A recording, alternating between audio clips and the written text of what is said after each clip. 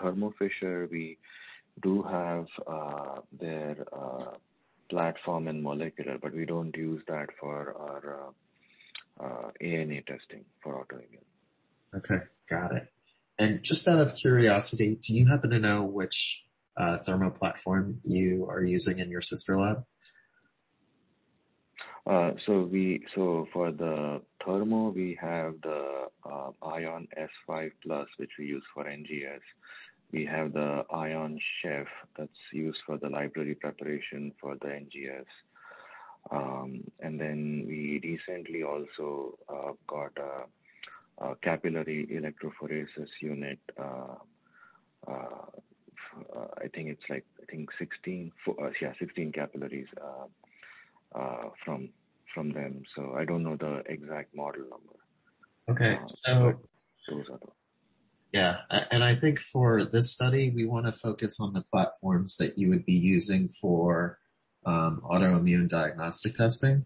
So I know, you know, like the, the platform from Thermo ABI, you you might be running like Sanger sequencing or fragment analysis, and of course, you know, the, the Ion Chef for, that's, that's NGS work.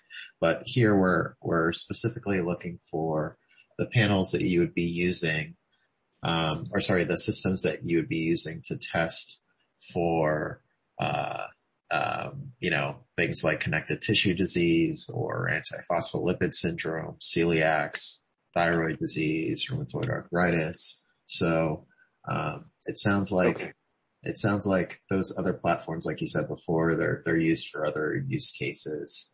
Um, so we'll just stick with the ones that are in use in your lab, um, and that would be BD and Ortho are your your two providers. You said for um, yeah, most of the yeah most of it is done on the BD. Yeah. Okay. How did you end up with the BD system? Do you mind just sort of, you know, taking me back in time and telling me a little bit about, you know, how it made its way into your lab? And then we can jump over to, you know, considerations that you have, areas where you think things could be improved, that sort of thing. So, um, maybe start by telling me a little bit about the system itself, how long it's been in place, why that was decided uh, to be brought in as opposed to the Bio-Rad, which you said it was a little bit expensive for reagents. Just tell me the full story. Yeah, so for the uh, we use BD system in the flow lab for flow cytometry, and so uh, we have sort of uh, uh, agreement like system wide with them for the equipment portion, and so we get I think significant uh, uh, discount on the reagents as well as the system. Um, and I think that's why the decision was made to bring in BD. Okay. How old is the system? I think it's a year old, maybe. I'm not sure the exact duration. Okay. Yeah, I think we recently acquired it. Got it. And do you happen to know the uh, like the model or any other details regarding the system that you've gotten from BD? Uh, I'm not as familiar with, with BD systems. Uh, I think you're the first person that we've talked to in the study that's using BD for this work.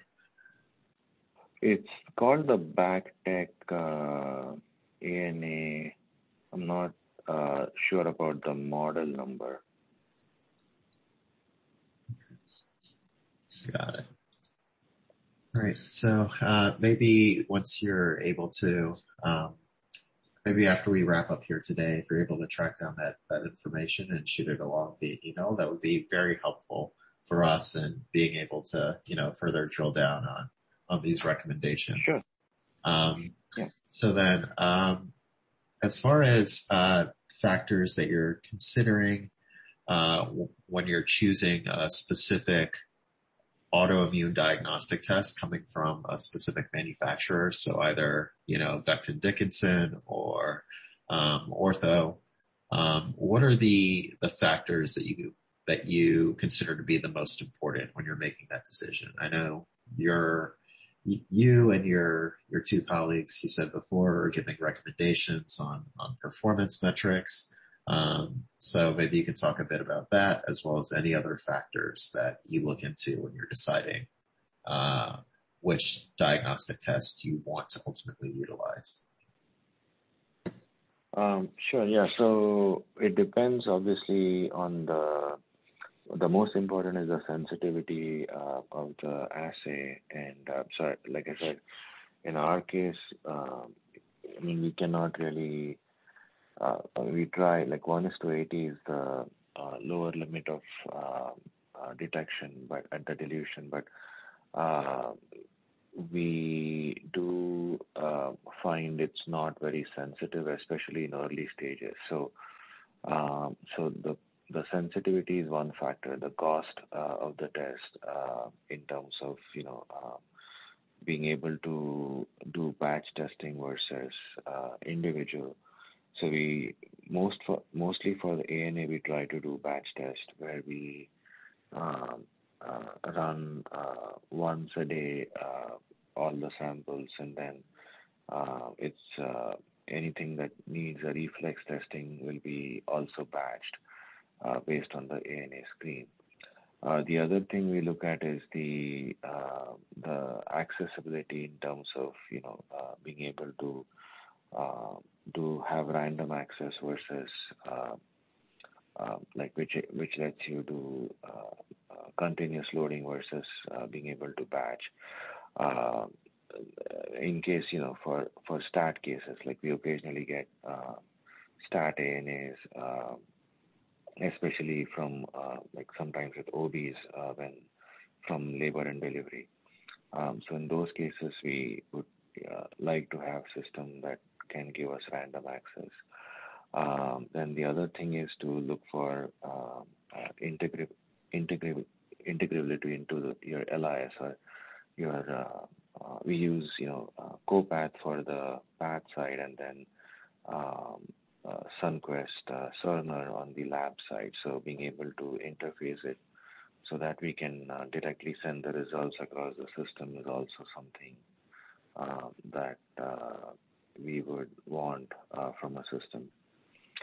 Um, and then uh, uh, obviously the footprint because if if it can be a benchtop system, it's much preferable rather than standalone, you know, which takes significant more space.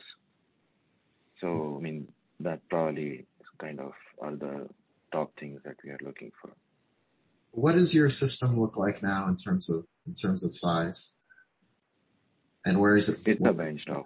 It's a benchtop system. Okay. And what is your throughput like? So, you know, how many autoimmune tests are you performing in a, in a day? Uh, you know, it sounds like everything would be coming to your lab across all of your various sites for autoimmune diagnostic testing. So how many samples are you typically running?